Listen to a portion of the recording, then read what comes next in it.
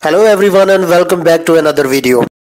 This video is going to be very special because in this video I'm going to share 20 most exciting and interesting sentence with you that would not only add new spirit to your discussion but also make you favorite one among your friends.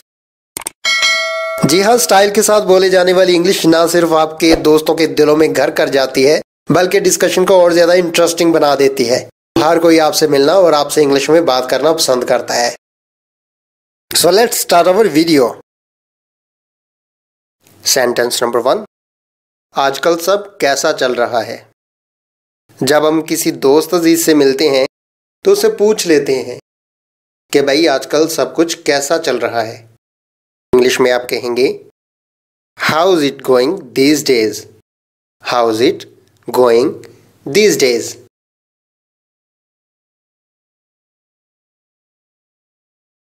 sentence number two ये एक अफवाह है।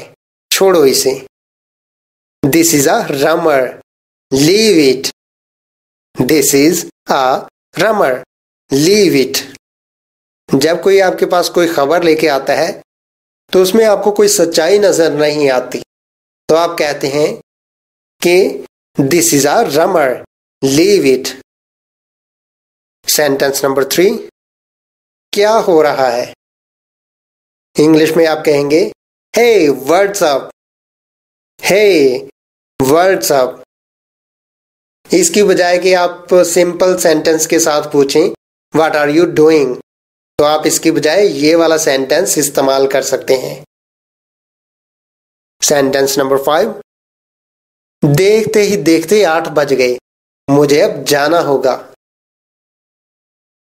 बाज का आप किसी दोस्त अज़ीज़ के पास बहुत देर तक बैठे रहते हैं और टाइम का पता नहीं चलता। तो आप इंग्लिश में कहेंगे it is at in no time I have to leave now it is at in no time I have to leave now sentence number five तुम्हें पता है ना? तुम्हें पता है ना बाज का कोई वाक्य होता है तो हम इसे अपने किसी दोस्त अज़ीज़ के साथ बयान करने लगते हैं। तो उसे थोड़ा सा बताकर हम पूछ लेते हैं कि तुम्हें पता है ना? You know it right you know it right sentence number six oh ये बहुत आला ख्याल है। मुझे पसंद आया। इंग्लिश में कहेंगे Oh, that's a great idea. I like it. Oh, that's a great idea. I like it. बाज का जब कोई दोस्त आपको कोई ख्याल बताता है या कोई मंसूबा बताता है तो आपको बहुत पसंद आता है और आप उसे अप्रिशिएट करते हैं तो आप ये वाला सेंटेंस इस्तेमाल कर सकते हैं सेंटेंस नंबर सेवन ये बहुत आला है साउंड्स ग्रेट साउंड्स ग्रेट ये सेंटेंस उस वक्त बोलते हैं जब आप अपने किसी दोस्त को कोई आइडिया या कोई प्लान बताते हैं। या वो आपको कोई प्लान बताता है। तो आप उसे सवालिया अंदाज में भी पूछ सकते हैं। साउंड्स ग्रेट तो आप उसे रजामंदी ज़ाहिर करने के लिए भी कह सकते हैं। ओ sounds great sentence number eight hello दोस्त, क्या हो रहा है? इंग्लिश में आप कहेंगे hello buddy what's going on hello buddy what's going on क्या हो रहा है या क्या चल रहा है? सेंटेंस नंबर नाइन बाज का तो आप किसी की तारीफ़ करना चाहते हैं, चाहे वो लड़की हो या लड़का हो। तो आप इंग्लिश में कहेंगे यू लुक गोर्जियस टूडे आप ये लड़के के लिए भी इस्तेमाल कर सकते हैं, लेकिन ज़्यादा बेहतर होगा आप लड़की के लिए इस्तेमाल करें। यू लुक गोजियस टूडे तो अगर आप अपने किसी दोस्त की तारीफ़ करते हैं, मेल की तारीफ़ करते हैं तो आप बता सकते हैं you are looking very dashing you are looking very dashing इसका मतलब है कि आप बहुत स्टाइलिश लग रहे हो, बहुत बोल्ड लग रहे हो। सेंटेंस नंबर टेन बाजुकात आपसे जब कोई मिलता है तो वो आपको कहता है how are you how are you तो बजाय इसके कि आप कहें कि आई एम फाइन तो आई एम फाइन कहने के बजाय आप कह सकते हैं आई एम गुड या I am pretty good I am good और I am pretty good because I am fine ये तो सेंटेंस हर कोई इस्तेमाल करता है। लेकिन अगर आप थोड़ा सा हटकर इस्तेमाल करेंगे तो दूसरों को भी अच्छा लगेगा और आपको खुद को भी अच्छा लगेगा। सेंटेंस नंबर अलेवन आओ इस हफ़्ते कुछ मौज मस्ती करें। जी हाँ जब आप कुछ दोस्त इकट्ठे होते हैं तो कहते हैं कि आओ इस हफ़्ते कुछ एंजॉयमेंट का कोई प्लान बनाएँ। तो इंग्लिश में आप कह सकते हैं let's grab some fun on this weekend let's grab some fun on this weekend sentence number twelve फिकर की कोई बात नहीं।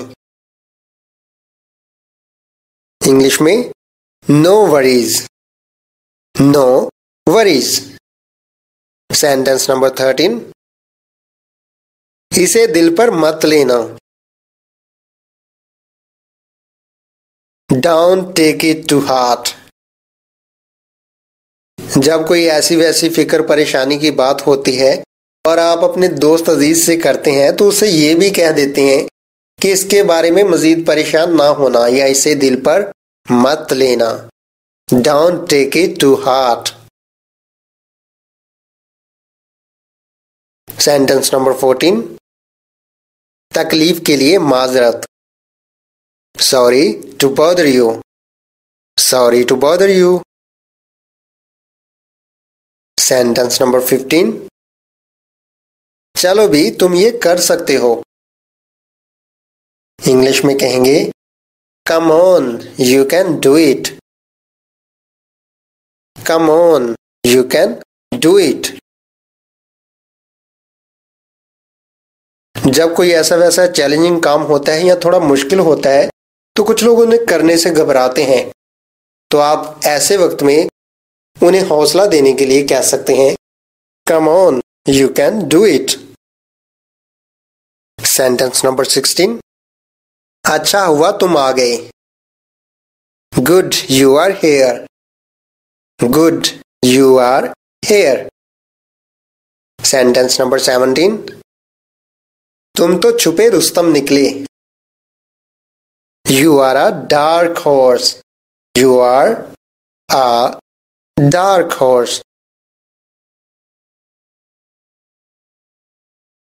अगर किसी दोस्त अज़ीज़ में कोई ऐसी खूबी या कोई ऐसी स्किल हो, जिसका हमें पता ना हो और हमें बहुत देर बाद पता चले या ज़रूरत पड़ने पर पता चले तो हम कहते हैं कि तुम तो छुपे रुस्तम निकले। इंग्लिश में you are a dark horse sentence number eighteen अच्छा कर रहे हो, जारी रखो। Keep up the good work keep up the good work जब कोई शख्स कोई अच्छा काम कर रहा हो तो आप उसे मजीद अप्रिशिएट करने के लिए ये सेंटेंस इस्तेमाल कर सकते हैं। सेंटेंस नंबर नाइनटीन जो भी होता है, अच्छे के लिए होता है। Whatever happens happens for good whatever happens happens for good. Sentence number twenty तकल्लुफ मत कीजिए। Don't be formal don't be formal बाज़ात जब आप किसी दोस्त अज़ीज़ की दावत करते हैं या उसे इनवाइट करते हैं तो वो बहुत हिचकचाते हुए खाना खाता है या बहुत हिचकचाते हुए कोई भी काम करता है। तो उस मौका पर ये सेंटेंस बोल सकते हैं, ये डोंट बी फॉर्मल तकल्लुफ मत कीजिए। Thank you for watching this video make sure to hit like and subscribe our channel and share our videos have a good day